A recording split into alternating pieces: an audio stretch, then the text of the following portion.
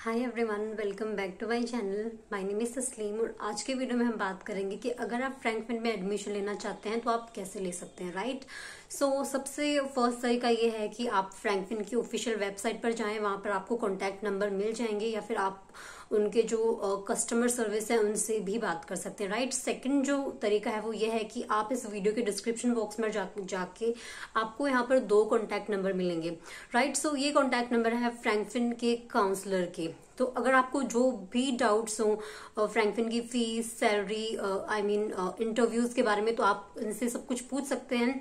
मैंने भी फ्रैंकफिन पे अपने आठ वीडियोस में बना चुकी हूँ तो प्लीज़ आप मेरी जो प्लेलिस्ट है फ्रैंकफिन की, वो जाकर ज़रूर चेक करें, जिसमें मैंने आपको सब कुछ बता रखा है कि इंटर फ्रैंकफिन में अगर आप जा रहे हैं तो वहाँ पर इंटरव्यू क्वेश्चन इंटरव्यू में क्या पूछते हैं एंड क्या फ्रैंकफिन जाने से आप कैबिन क्रू बन ही जाएँगे?